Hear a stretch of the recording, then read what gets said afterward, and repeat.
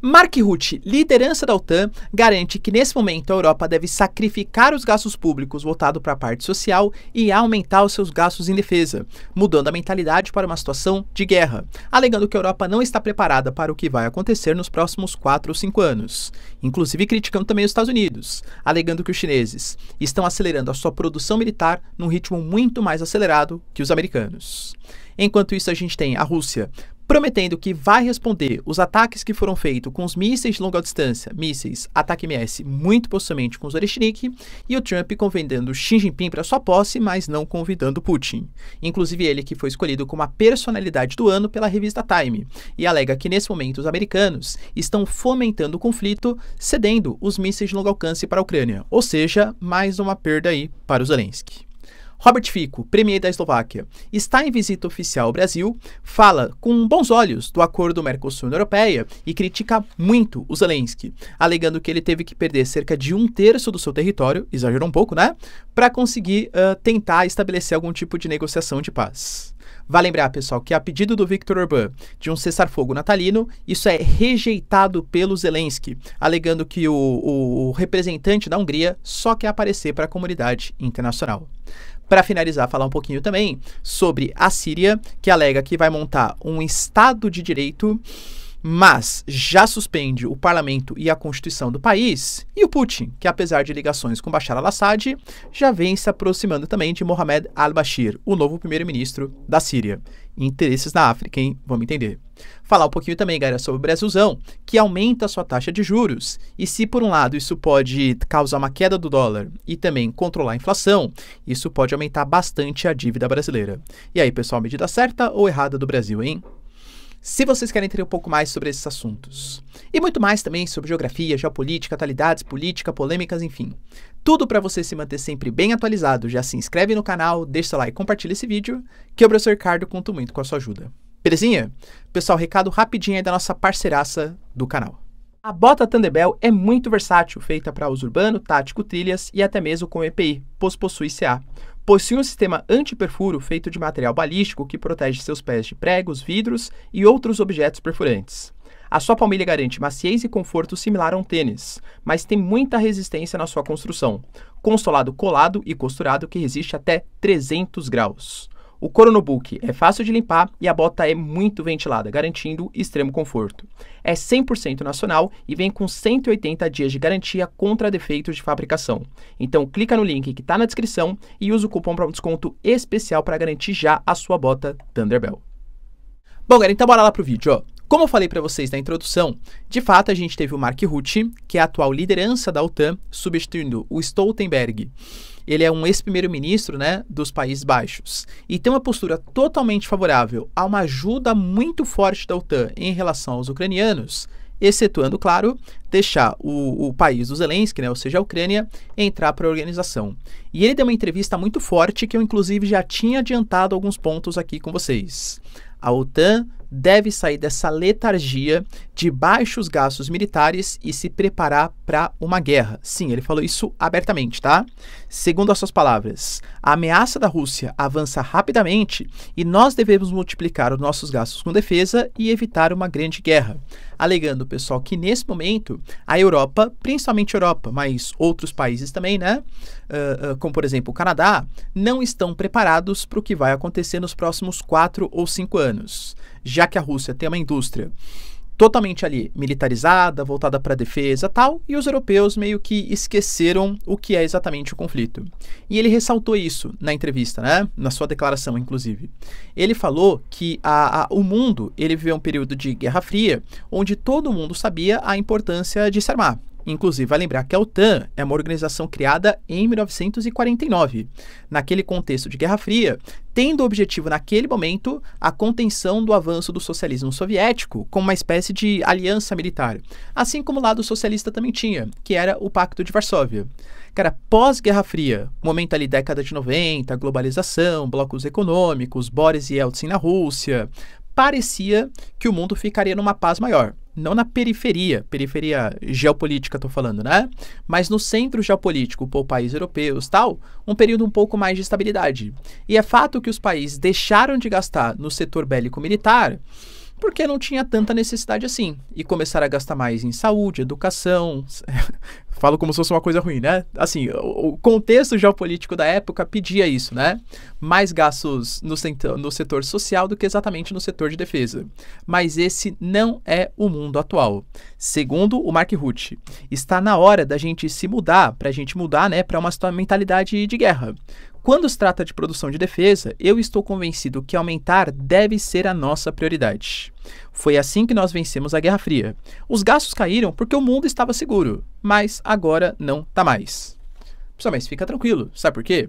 Porque eu sei que para fazer parte da OTAN, todos os países precisam ter um mínimo de gasto de 2% do seu PIB em defesa. Primeiro problema: Algumas fontes dizem 23, outras fontes dizem 24, mas é fato que 8 ou 9 países não cumprem nem o mínimo de 2% do PIB em defesa. Se a gente pegar o momento antes da guerra Rússia e Ucrânia, era quase inverso. Só 8 ou 9 países cumpriam esses mínimos de, de, de 2%. Porque, como eu disse, geralmente não é muito popular você falar que vai cortar gasto em educação, em, sei lá, moradia e tal, para gastar no setor militar, que é uma coisa que traz menos benefícios, vai, em curto prazo. Mas claro que para a formação de um Estado, para a segurança nacional, é essencial. Os países eles só foram acordar, eles só foram despertar, a exemplo da Alemanha, exemplo da França, a Polônia, que aumentou assim demais os seus gastos militares, até pela sua, sua posição geográfica, depois da guerra Rússia e Ucrânia. Tanto que hoje esses 2% eles têm que ser aumentados. E eles devem ser aumentados em 50%. Sim, cara, uh, tanto o Mark Rutte quanto o Trump, eles não falam abertamente sobre esse número, mas eles falam em no mínimo 3% dos gastos em defesa. A Polônia já falou sobre isso, o Trump já falou sobre isso, uh, o Mark Rutte, não nessa entrevista, né, mas já deu a entender também que vai ter que aumentar os seus gastos militares, e ele inclusive fala: a gente vai ter que fazer um sacrifício em curto prazo, que é cortar esses gastos sociais para aumentar nossos gastos em defesa, que é uma projeção mais a longo prazo, alegando, como eu falei para vocês, que hoje a OTAN não está preparada para uma guerra de longo prazo, enquanto os russos e os chineses estão. Tanto que ele falou, né, que sobre a China, Hoje, eles estão aumentando demais as suas forças, inclusive a sua força nuclear, alegando que a China em 2020 tinha cerca de 200 ogivas e promete para 2030 mil ogivas nucleares. Alegando que os equipamentos chineses hoje eles estão crescendo num ritmo muito mais acelerado que o crescimento dos equipamentos americanos. Ele coloca numa escala de 5, 6 vezes mais para os chineses em detrimento dos Estados Unidos. É claro, galera, que é uma comparação muito injusta, porque ele está fazendo uma comparação percentual, né? Os gastos militares americanos, eles são muito maiores que os gastos militares de qualquer outro país do planeta. Mas quando ele fala que esse crescimento acelerado dos chineses, é uma continha simples, né? Pensa, por exemplo, que você tem, sei lá, é, 500 mil reais. E aí você vai lá passa a ter um milhão. Cara, você aumentou em 100% a sua riqueza. Agora, se você tem 5 bilhões de reais e passa a ter 7 bilhões e meio, você aumentou só em 50%, entende? Então, como a China ela tem menos equipamentos militares, é natural que o ritmo de crescimento seja maior. Já os americanos, como são a maior potência uh, militar do planeta, é natural que, mesmo com gastos públicos muito acelerados no setor de defesa, eles não tenham um crescimento tão exagerado assim, justamente por já terem uma posição muito bem consolidada. Mas é fato que a OTAN está alertando: o mundo está entrando no conflito e nós ainda não estamos preparados, como por exemplo os russos e os chineses estão se preparando. E aí, pessoal, será que a OTAN vai ouvir as recomendações? Vai lembrar que o Trump, no passado recente, hein, essa semana inclusive, citou que ele via a possibilidade dos Estados Unidos saírem da organização, alegando que existem países que não comprometem os gastos com defesa que deveriam ser comprometidos, e caso esses países sejam atacados, o Trump deveria defender. Faz parte do artigo 5 da Constituição da OTAN. Mas será que esse país defenderia os Estados Unidos caso os americanos fossem atacados? E mesmo se quisesse, será que esse país que não gasta no mínimo 2%, ou talvez agora 3% em defesa, teria capacidade bélica militar de defender os americanos caso fosse preciso? Entende? Então Trump cogita até mesmo sair da organização.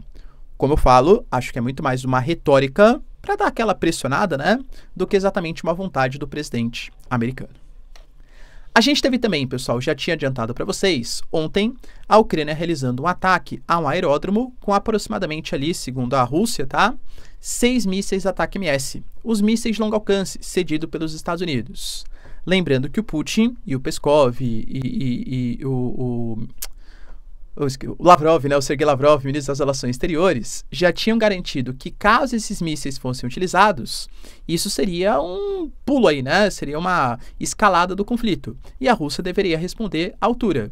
A utilização dos Oreshnik, mísseis balísticos intermediários, entre os intermediários de longo alcance, eles foram utilizados Uh, na Ucrânia recentemente, justamente como uma resposta à utilização por parte da Ucrânia dos Scalp Storm Shadow e também dos uh, ataque MS dos Estados Unidos. Mais uma vez eles foram utilizados. O sistema russo Pantsir conseguiu uh, uh, abater né, alguns, conseguiu interceptar alguns, e também o sistema de defesa eletrônica interceptou outros. Mas mesmo assim, como eles foram utilizados, a Rússia prometeu resposta. E muito possivelmente, mais uma vez, com os famigerados Orishnik. O Trump, galera, que está prestes a, a a cadeira de presidente dos Estados Unidos, agora no dia 20, inclusive já prometeu, tá? Vai fazer, cara, uma anistia a todos aqueles que participaram das cenas ali do Capitólio na época que ele perdeu o processo eleitoral para o Biden. O Biden também deu uma situação de clemência, um perdão, o maior da história dos Estados Unidos também, coisas interessantes, né, sobre a sociedade americana. E o Trump, ele convidou o Xi Jinping para sua posse. Segundo a CBS, que é uma mídia americana, esse convite já teria sido feito antes mesmo do processo eleitoral. A China confirmou, aparentemente, não sabe se vai ainda, tá? Mas aparentemente foi recebido pelo Xi Jinping. E aí o Peskov, que é o porta-voz do Putin, teve que se pronunciar também, alegando que não. Os russos não foram convidados para a posse do presidente americano. Por que, que ficou essa especulação? Porque a gente sabe, né, galera, que o Biden tinha uma política muito mais contrária à Rússia do que exatamente o Trump, mas acho que deixa bem claro, né? Não é que o Trump ele faz isso porque ele gosta muito do Putin. Ou essa, a gente vai discutir já, né? É, cancelar possivelmente verbas destinadas para a Ucrânia, cancelar os mísseis de longo alcance. Nossa, como ele quer defender a Rússia. É porque ele sabe que isso pode comprometer o orçamento público americano e talvez colocar o mundo numa situação de insegurança maior. Então, a postura meio egoísta, vai, vamos colocar assim diplomaticamente, dos americanos mas ele nunca disse que seria diferente. Aliás, uma das suas bandeiras no processo eleitoral é America First, né? Uh, o Trump, cara, vai lembrar que também já anunciou algumas sobretaxas a produtos chineses. A China também sobretaxou alguns minerais chamados de terras raras para os americanos. Só que, mesmo em meio a essa guerra comercial, o convite aconteceu. Aparentemente, algum tipo de mediação, negociação entre americanos e chineses devem acontecer aí no futuro próximo. E o Trump, ele foi eleito como a personalidade do ano pela revista Time. Sim, galera, tá? Aliás, né, pô, presidente dos Estados Unidos eleito depois de sofrer um atentado, tal, é natural que ele tenha sido destaque em todas as partes do planeta. Como eu falo para vocês, quer você goste, quer você não, aqui não é uma questão de torcida, aqui é uma questão de verificação dos fatos. Os Estados Unidos é a maior potência geopolítica mundial. Então, o presidente eleito nos Estados Unidos, ainda mais com uma retórica tão única, vamos colocar assim, vai, como a retórica do Trump, é óbvio que isso chama atenção em um mundo que tem muitos conflitos espalhados aí. Uh, e nessa premiação ele deu uma entrevista, claro, né, para a revista, colocando que nesse momento os Estados Unidos, ou pelo menos ele e a sua equipe, se mostram contrários à cessão de mísseis de longo alcance para a Ucrânia. Como eu falei para vocês, era um pedido desesperado do Zelensky e que não tinha sido aprovado nem pelos americanos, nem pelos franceses e ingleses. Esses mísseis de longo alcance eles poderiam ser utilizados, mas somente em territórios que foram invadidos dentro da Ucrânia. O Biden mudou isso, os britânicos e franceses também. O Trump coloca que isso é uma loucura, segundo as suas palavras. Ele discorda veementemente, porque nós estamos, por que nós estamos fazendo isso? Estamos apenas escalando a guerra e piorando tudo. Inclusive alegando, pessoal, que ele tem um plano muito bom, mas que ele não vai divulgar esse plano de paz. Alegando que se ele desse algum tipo de prévia, isso tornaria o plano inútil. Será que ele tem um plano que ainda não foi divulgado? Porque a gente sabe que ele nomeou o Kate Kellogg, importante general, inclusive que participou lá do seu primeiro governo, alegando que ele vai colocar Putin e Zelensky na mesa de negociações e quem não quiser negociar, caso seja a Rússia, ele aumenta o financiamento para a Ucrânia, caso seja a Ucrânia, ele corta o financiamento dos ucranianos. Colocando uma espécie de zona tampão, onde militares europeus, porque a Europa tem que cuidar dos seus problemas, vão tomar conta dessa zona de fronteira e que a OTAN não entrará, aliás, a, a, a Ucrânia não entrará para a OTAN, pelo menos pelos próximos aí 20 anos. Será que ele tem uma outra super proposta que não quis divulgar para o mundo? É o que deu a entender, pelo menos ali na sua entrevista. Enquanto isso, cara, a gente teve também o Robert Fico, para quem não sabe, primeiro-ministro da Eslováquia, em uma visita oficial ao Brasil. Não se encontrou com o Lula. Poxa, galera, vocês sabem, né? O problema dele de saúde e tal, essas coisas a respeito da sua cabeça. Mas participou de uma conferência com o Geraldo Alckmin, que é o vice-presidente do Brasil elogiou muito o acordo Mercosul-União Europeia, alegando que vai ser bom para todos os lados, que a Europa vai poder se reindustrializar, que o Mercosul vai ter acesso a um amplo e rico mercado europeu e que vai tentar convencer os países a de fato aprovarem esse projeto. Como eu falei para vocês, o projeto não está pronto. Ele está pronto assim, papel, né? Mas tem que passar pelo Parlamento Europeu, pelo Conselho Europeu e também pelos parlamentos nacionais aqui do Mercosul. Então ele coloca que ele vai ser um dos apoiadores.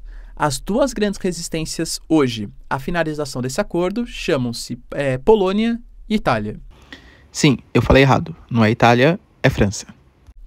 Mas ele falou também da guerra entre Rússia e Ucrânia, deixando claro que ele se considera como uma. Palavras dele, tá? Eu sou uma ovelha negra na relação aqui da União Europeia. E de fato, cara, quando a gente fala, né, de uma União Europeia que via de regra a maior parte dos países são favoráveis ao Zelensky e um apoio ou uma entrada da Ucrânia para a organização, a gente tem na figura principalmente de Viktor Orbán e de Robert Fico, Robert Fico da Eslováquia e Orbán da Hungria, que falaremos daqui a pouquinho, talvez as duas grandes figuras de resistência a essa aproximação do Zelensky com uh, a União Europeia e também com a OTAN.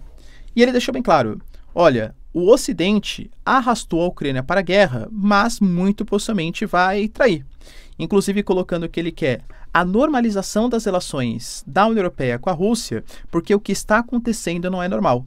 Quando a guerra acabar, tudo será como de costume, alegando que a Europa não vai querer submeter a preços possivelmente mais altos de gás natural, de petróleo, e que a Rússia também sabe que uma possível conflito aí com a União Europeia poderia ser ruim também para os russos.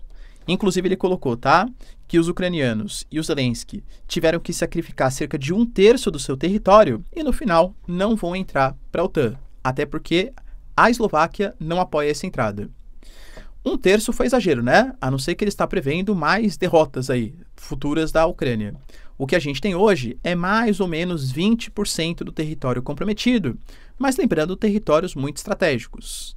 Donetsk, Lugansk, Zaporizhia, Kherson, Crimeia, acesso ao porto de Sevastopol, acesso ao Mar Negro, solo fértil de Chernozion, grande área produtora de grãos, zona industrial em Donetsk, usina nuclear em Zaporizhia. É um território estratégico. Mais um terço, acho que o Robert Fico exagerou um pouquinho, vai, na sua premissa aí anti-Zelensky. Uh, a gente teve também, pessoal, um pedido, na verdade um telefonema, que foi feito ontem, quarta-feira, entre Victor Orbán, que eu falei para vocês, é o outro patinho feio, entre aspas, da União Europeia, só que nesse momento a Hungria está na cadeira de presidência rotativa da organização, fazendo uma ligação para o Putin e combinando com ele uma proposta de cessar-fogo, um cessar-fogo natalino.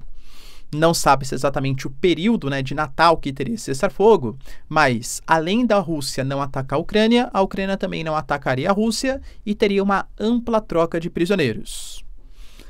O Viktor Orbán, ele coloca, né, apesar de ter uma ligação muito forte com o Putin, que ele é um cara neutro e só pensa na paz na região. O Zelensky foi lá e rebateu. Falou assim: olha, nós precisamos de uma unidade e não alguém que fique querendo se promover.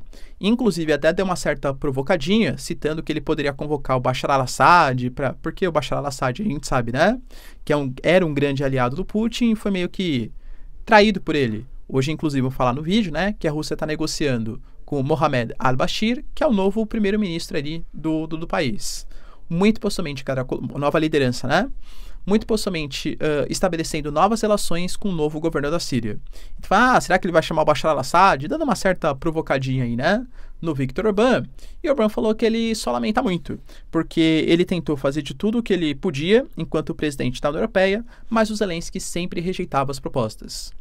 Vamos ser sinceros, galera. Na minha concepção, era muito mais uma provocada também no Zelensky. Né? Ele sabia que o Zelensky não ia aceitar em meio a um avanço dos russos, em meio a dificuldades aí de financiamento, uh, com o Trump falando que não vai ser mísseis de longo alcance, que o Zelensky é um ótimo vendedor.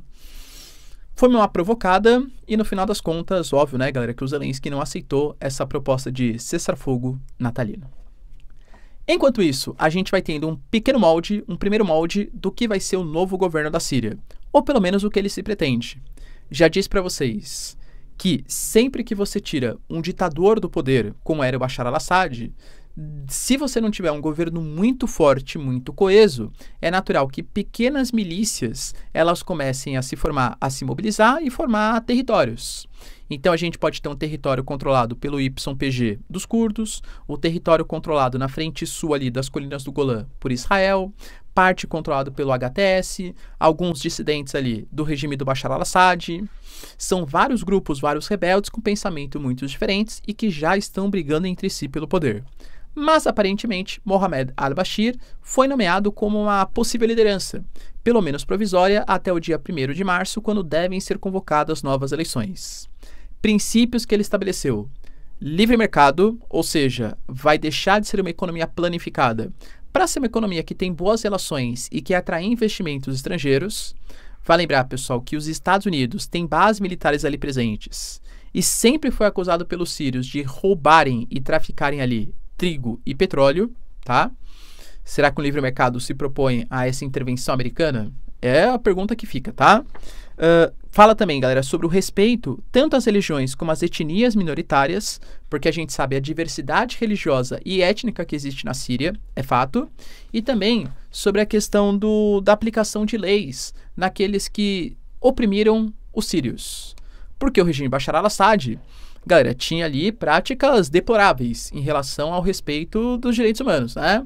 Principalmente contra grupos opositores. Eles vão tentar promover uma abertura política e econômica do país, mas mantendo punições para aqueles que colaboraram com o regime Bashar al-Assad. Professor, e a Rússia vai deixar isso acontecer sendo tão aliada do Bashar al-Assad? É, vai, tá? As notícias que surgiram hoje é que a Rússia já está negociando com a nova liderança formada na Síria para manutenção das bases. Professor, mas por que isso vai acontecer? Porque de verdade interessa a Síria. Galera, convenhamos que você, assumindo o, o, um novo governo, primeiro momento, já comprar guerra com um antigo aliado que tem bases militares no seu território não seria uma boa ideia. E interessa também para a Rússia, porque as bases militares na Síria dão por exemplo, a de Tartus, dão importante acesso ao mar Mediterrâneo e principalmente ao continente africano. A gente sabe que nos últimos anos, uma série de golpes militares ou revoluções anticolonialistas, você que sabe, tá?